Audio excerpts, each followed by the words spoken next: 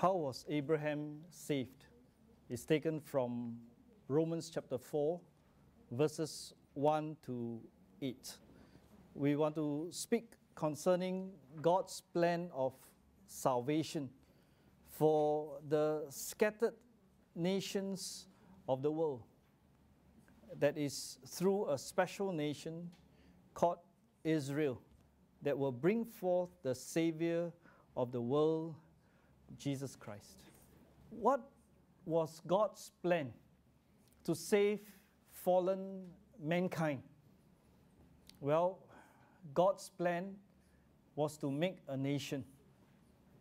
And through the nation will come a man, the man who is the Son of God. And he will be the Savior of the world. And through this nation, who will be the witness and the Savior that will come from it, this witness will spread to all the nations of the world. And this is God's plan. And Abraham was the father of the Jewish nation. In Genesis chapter 12, the Bible tells us how he was called of God to come out of the Ur of the Chaldees, right, modern day Iraq, in order to come to Palestine, right, to uh, the place where God would give and make promise to him, uh, a descendant, a land. And he would be the father of the nations. And how can we explain uh, that uh, of Abraham's faith? How was Abraham saved? Abraham was saved uh, through his descendant, Jesus Christ, the Son of God that will come in the flesh. And so the Lord wants us to see and understand the plan of God in salvation. Although Abraham was a great man whom God used to bring forth a Savior, he was not saved by any merits that he had before God. Abraham was a great man in the sight of the Jewish nation. He was the father of the nation, right? the one who began that nation. And yet, Abraham was a sinner like us. He was also saved by faith when he believed God. What did Abraham believe? Well, Abraham believed that through his descendant will come the Messiah, Jesus Christ. And that is the knowledge that God uh, gave to Abraham. And Abraham believed, believed that there will be uh, that descendant will, that will come through him that will be the savior of the world.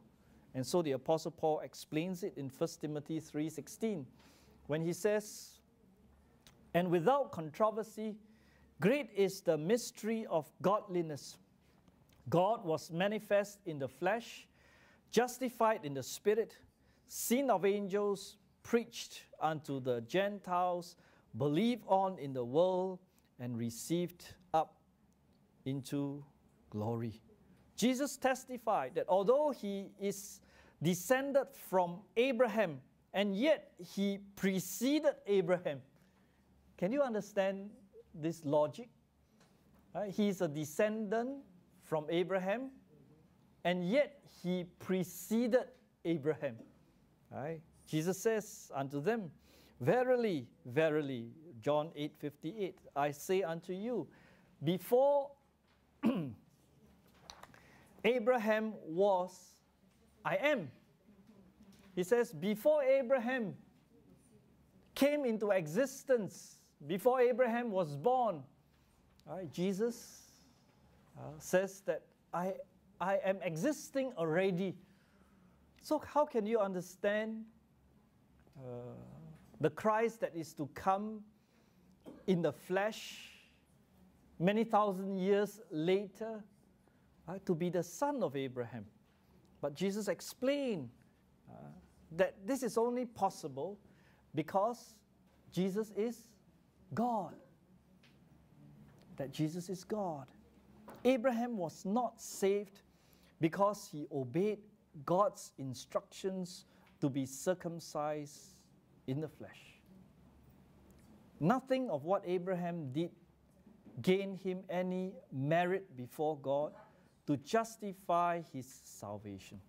In fact, Abraham was saved because he believed in God's plan of salvation through the man Jesus Christ, who is God Himself. So, this is the great truth that we declare to the world. All men must humble themselves before God to accept this glorious way by which they can be saved. So, you know, this gospel that we give to you right, uh, is a message of salvation that God brings to us, how it can give you peace and joy in your heart. Therein lies the power. If you have believed, then you would experience the greatness of the power of God in the person of Jesus Christ. So, here, as we think, right, Paul was writing in Romans 4 1 to 3 concerning how Abraham was saved. What shall we say then that Abraham our father, as pertaining to the flesh, hath found? For if Abraham was justified by works, whereof he hath, he hath whereof to glory, but not before God. For what saith the scripture? Abraham believed God, and it was counted unto him for righteousness. You see, Abraham looked forward to the Messiah to come. Right? Messiah hasn't come yet. It's going to come many, many generations later. Right? Jesus Christ is going to be born out of the loins of Abraham. And it's going to be many, many generations later. This was the promise of God right, to Abraham that the Messiah, the Son of God, will come through his descendant. And he believed that. That bought him his salvation. That gave him his salvation. And for us today, how can we be saved? How are we saved? We are saved because we believe in the Messiah that has come 2,000 years ago. That Jesus Christ, the man who came in the flesh 2,000 years ago, who lived in Nazareth, is the Son of God. And that is what God wants us to know concerning how we can be saved. Not by anything that we do Abraham was a great man. He was a father of all the, the nation of Israel. but he could nothing, he could do nothing to save himself. He had to humble himself right, to believe in the Messiah. So Abraham was counted righteous because he, he believed. Because he believed in the Messiah to come. And it is the same for us if we have believed in the person of Jesus Christ, the Son of God that was made flesh in the fullness of time, you know our calendar, uh, BC, before Christ, and AD, Anno Domini, the year of the Lord. Before Christ and Anno Domini. This is the pivotal time of human history. You see, even our calendar tells us Right? That was the, the most important climax of history, right? where God would send His Son. And God wants us to have our eyes open, you see. God wants us to learn, uh, to see, to know uh, the Christ, so that we may come to know Him and we may receive salvation through Him. Uh, Romans chapter 4 uh, gives to us this truth. So the Apostle Paul declared, in truth, that by grace Abraham was saved. He did not receive salvation by any work that merited his salvation. It was all by faith in the finished work of Jesus Christ that righteousness was credited to Abraham. He did nothing to earn his salvation. The same for us. We can do nothing to find credit before God. And it must cause us to, you know, to realize, right, uh, to be humbled before God, that, you know, you can do nothing to save yourself. You can do nothing. Because we are sinners through and through. And that is a truth that God wants us to see, you see. Now, you talk to anyone in the street, they would tell you that, hey, I, I didn't kill anybody, uh, I did not break the law, uh, I'm not uh, that bad a person. You see? And therefore, if I'm not that bad a person, then how bad can I be? That I, in my goodness, I cannot approach God. Uh, that is the what Paul is trying to help us to see, you see. That indeed we are not good at all. We are sinners through and through. And God wants us to understand our uh, uh, depraved position before Him. That we are truly, uh, in a sense, we said dust. Right? We cannot save ourselves. But God is the one who provided that way of salvation. And therefore, uh, the Lord wants us to know right, the truth concerning how a man is saved. Uh, it is God, it is the God given means whereby man can escape the judgment of hellfire and receive eternal life. And thank God for the opportunity to share this truth. I, uh, thank God for the opportunity to share this truth. You know, um, I had the opportunity to meet a man uh, by the by the uh, arrangement of God through his doctor, and I was asked to go to meet him at the void deck of his home. And when I saw him, well, I saw that this man had a big lump on his face, really big lump. And I was told that he only had two weeks of life left. Two weeks of life left. And so it was an urgent uh, situation, urgent of mission. And this is what uh, happened, right? In a quiet corner of a fast food restaurant, in the weakness of his sickness, he received the Lord. He realized that he cannot save himself.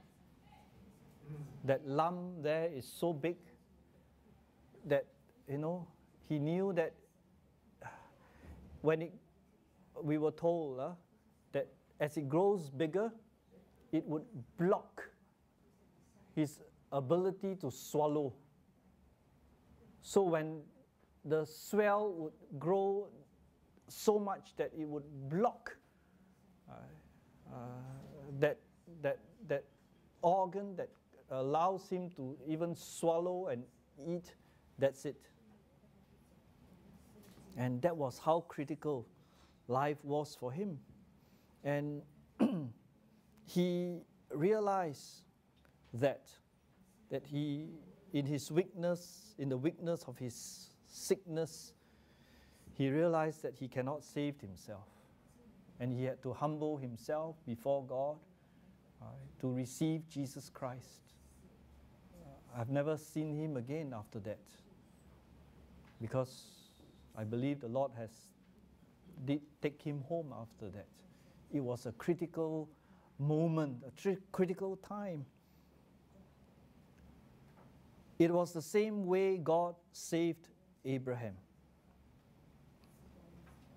his faith is counted for righteousness. So, although he didn't know how he can be saved, in the sense that, you know, he's really just waiting, uh, counting the number of days that he has. Right? The growth is fast closing in on him. And, you know, you, you can feel uh, the, the danger that the person is in right? the, the mortal danger that the person is in. But you can see also that God granted him faith. And so when he believed, God saved such a man. What a time of rejoicing. He was given a Bible and encouraged to read the Gospel of John. And our prayer is that God will help him uh, make a way for him uh, to come to church. Well, that was his desire. Abraham, in his time, looked forward in faith to the coming of Jesus Christ to accomplish his salvation. You see, when God brought Abraham out of Iraq, you know, he was living so comfortably. Iraq was the modern city of those times. You see, life was good. And yet God said to him that he is to bring his family and move 800 miles across the Fertile Crescent into this, across the desert, uh, into this, uh, as it were, no man's land, to fulfill God's purpose. Can you understand the life of faith? Abraham obeyed, you know, and he came out. And God revealed to him that the salvation will come through his descendant. So, this was God's plan of salvation. And God wants us to, to know and to receive it. Abraham, in his time, looked forward in faith to the coming of Jesus Christ to accomplish his salvation. And we look backwards in time to what Jesus did on the cross to win our salvation. What a glorious gospel! Freely given, freely received. Romans chapter 4, verse 4 says, Now to him that worketh is the reward not reckoned of grace, but of debt. But to him that worketh not, but believe on him that justifieth the ungodly, his faith was counted for righteousness. Even as David also described, the blessedness of man unto whom God imputeth righteousness without works, saying, Blessed are they whose iniquities are forgiven, whose sins are covered. Blessed is the man to whom the Lord will not impute sin. So David gives us the portrait of the man that is blessed of God in Psalm 32. He says, Blessed is the man whose transgression is forgiven, whose sin is covered. Blessed is the man whom God imputeth not iniquity, meaning that God does not count his sin to his credit. Ah, whatever that he has done that is wrong, God does not count it upon him. And if we have done wrong, you know, you have done wrong, which I believe all of us have. Right? If you have done wrong and you have made mistakes, what is the kind of a heart to a man who has done wrong? Fear, right? Very frightened, right? because we have done wrong. And we know that whatever a person commit that is wrong, right, there is a consequence to the wrong. There is a price to be paid, in other words. Right? Sin has to be dealt with. And so for us to for us to see and know that yeah, if we have done wrong, then you know there is a penalty, a price to be paid for the wrong, then who is going to pay it? Are we going to pay it ourselves? Ah. So that is a question that logically would come to us. And, you know, by our own wisdom, we would think that, yeah, maybe I can do something to save myself. I can do something good to offset uh, the bad that I have done. Right? So logically, you, you would think this way. Right? If I do uh, good, a lot of good, then you know I can offset the bad. But if you understand the law of uh, sin, you realize that if you have sinned in one point, you have sinned in all, right? If you have broken the law at one point, then what does the law, what does the transgression of the law tells us? That you have to pay for the transgression of your of the of the law. There is a punishment that comes with the crime. You see? You cannot escape just like that. Ah, then it makes us to think already that what can we do? So if you are the man, you know, that we are speaking about, uh, there's this lump here that is so big, you know, that is so uh, atrocious and it's closing in on him. He must be feeling really desperate, right? That if nothing is done for him, that's the end already. And he understood the perils of his life, the peril that he was in. And God wants us to see the peril that we are in. That we are sinners, that we cannot save ourselves. Nothing you do is able to win you salvation. Uh, but God has provided a way. God has provided the way out. The glorious gospel uh, is preached here by the psalmist David, explains the Apostle Paul, when David speaks of the blessing of sins forgiven and reconciliation with God. So you notice uh, there are three words given, there are words given there uh, the word transgression, sin, and iniquity, right? To describe man's depravity, that you, you cannot, that, that you have done wrong, in other words. Right? The word transgression means a rebellion against God.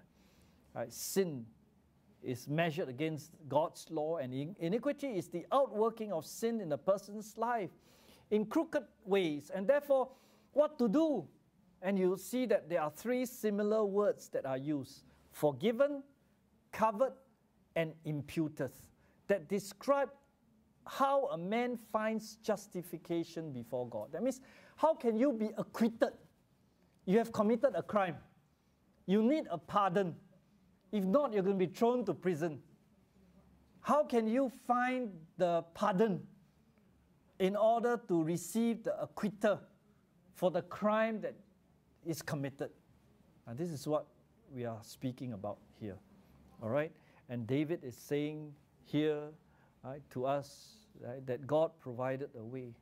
And the psalmist used uh, words of repetition, repetition of similar in a sense, but different in sound and origin for emphasis. So when we sin against God, our conscience gives us no rest until we repent and submit to God's authority and sovereignty in our life. You find that there will be an inner struggle that is inside us. We don't have peace in the heart until we yield to God and repent of our sins. So the word transgression is from the root word to break or to break with, to break covenant with God, is to rebel, to revolt. That's the word to sin. And how can you take away that sin? Uh, is to be forgiven right, is to have one sin taken away. The word there, forgiven, means lifted off. Right? And this word is in the passive, describing uh, that we cannot take away our sins. It is taken away from us. Right? It's in the passive voice. Uh, the active voice means that the subject right, does the action. But the passive voice uh, is, is such that the action is done on the, on the subject, right? So here uh, is described how sin is to be taken away by an external party, God. Right? And you remember in Pilgrim's Progress uh, how the burden on Christian's back was lifted from him when he came to the cross. Right? He was, was having a great burden on his back. And how that burden was lifted out from him. Uh, that's the burden of sin. So, you know, I was speaking to an elderly man together with his wife. Husband is a believer. Wife is not a believer. And wife said, Ah, I cannot.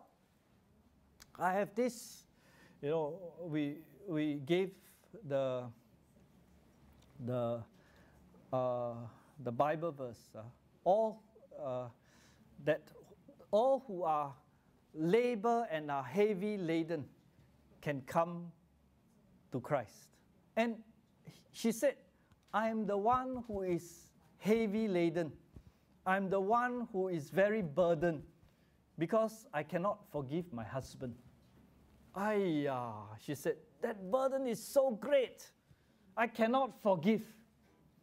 Ah, well, we said that right, the burden in our heart can be lifted off, taken away from us, right, only when we would surrender ourselves to God. Uh, surrender ourselves to God and say to God that, God, I cannot handle it anymore. Right? That hatred is taking a toll on me and putting such a great burden on my back that I cannot hold it. But God wants a way back for me. And so here the Lord tells us right, that He will make a way for us. God will uh, be with us to help us. And so here the, uh, the, the, the Lord wants us to see and understand. Uh, uh, that uh, sins need to be forgiven. And the word sin means missing the mark against the standard of God's word, right, as delineated in the Ten Commandments. Right? To miss a step or footing or to stumble, hence to err, to go astray, to trespass.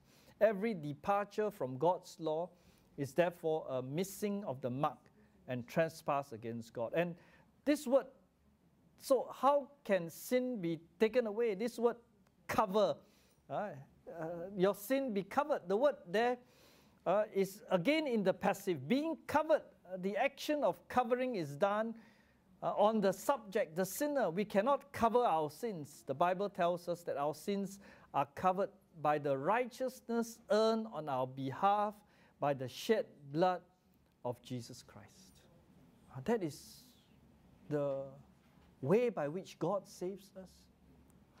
Christ Himself, God Himself, has to take that burden for our sins so that at the end, well, the sin is not ascribed or credited or counted upon us. And God wants us to just take hold of this way by which God has ascribed for our sin burden to be taken away. Uh, this is the good news of the gospel that by faith in the person of Jesus Christ, who has died for us, washed away our sins, uh, we can find salvation and forgiveness through him. And you remember the, the great joy of the lame man who was at the gate beautiful when Peter and John uh, went at 3 p.m. in the afternoon. He saw the lame man there, uh, so miserable, uh, begging. And Peter said to him, Silver and gold have I none. But in the name of Jesus Christ of Nazareth, rise up and walk. Wow, he rose up and walked. And he believed this is the way of salvation that God has given to him. And he was gloriously saved. And so we are saved by grace, the unmerited favor of God, and sins are forgiven And we are reconciled with God right, by what his son had done, Jesus Christ. Abraham was saved looking forward to the coming of the Son. And we are saved looking backward to the Christ that has come 2,000 years ago.